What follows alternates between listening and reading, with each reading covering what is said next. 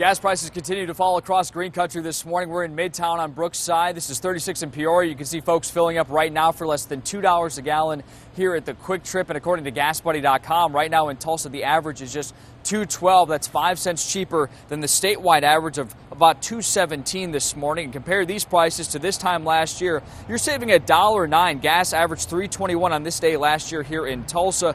Bartlesville really has some of the cheapest gas you'll find in Green Country this morning, 189 and for your convenience, and it's less than $2 in places like Muskogee and Tahlequah this morning.